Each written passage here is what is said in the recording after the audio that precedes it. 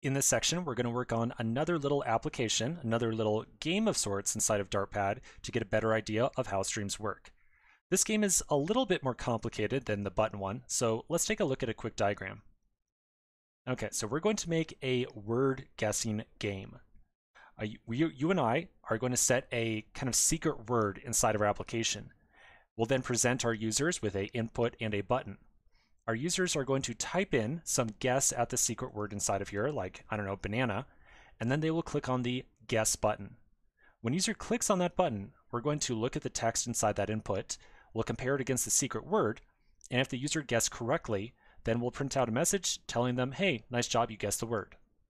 To make the game a little bit more challenging, we're going to say that a user can only guess four times. So in other words, after the user clicks on this thing four times, that's it. They don't get to play anymore.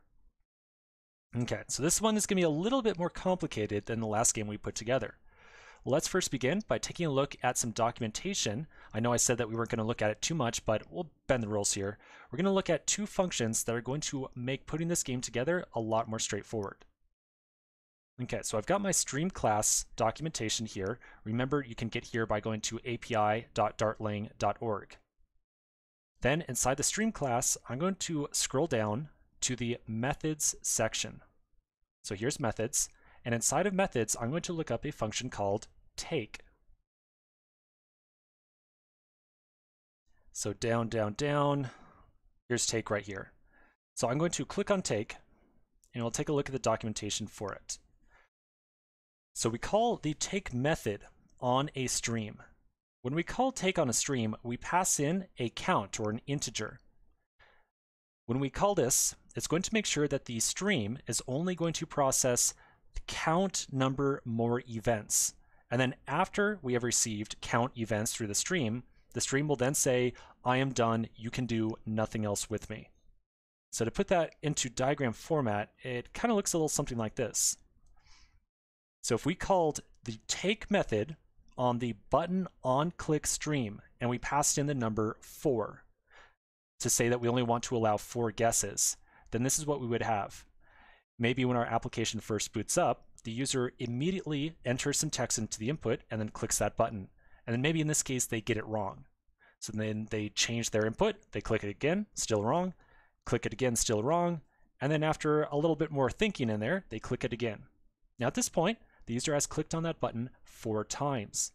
Because they've clicked on four times, and we called take with the number four, the stream then marks itself as being done. When a stream is marked as being done, it can no longer receive any more data inside of it, so no more processing goes on. In addition, when a stream is marked as done, we can make use of that listen function that we used a little bit ago. I'm going to find the documentation for listen really quickly here. Here it is right here. So on the listen function, we made use of the onData argument right here. That's the first function that we've been passing into listen. We saw a moment ago that we can also provide a on onError function. We can also pass in a onDone function. And so if we pass in onDone to our stream, or into listen, after calling count or take four on it, then onDone will be called, and we can print out some message on there to tell our user that, hey, sorry, but you lost the game. Okay, so the other thing I want to mention is how we can somehow check to see if the user has entered the correct word.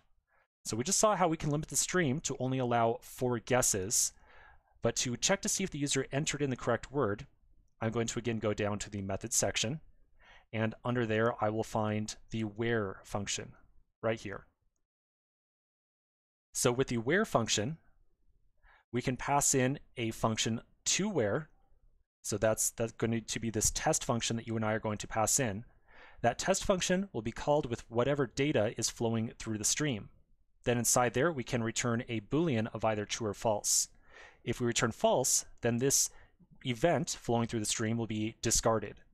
And so in our example, let's say that a user clicks and makes a guess one time. You and I are then going to look at the value of the input, and if the user has the incorrect value inside there, we will return false from the where function. And that will cause this click event to kind of like drop out of the stream. And it will not pass on to anything else inside of the stream. Now the key thing to keep in mind here is that the order in which we apply all these different functions definitely makes a difference. Because if we first call take, or excuse me, if we do the opposite, if we first call where on our stream, then we're going to be trying to discard items out of the stream, and we will not be kind of incrementing it against our max count uh, number of guesses as you'd probably expect. Okay, so that's kind of a description of the different functions we're going to use. So let's take a quick pause and we'll come back to the next section and put this little application together inside of Dartpad.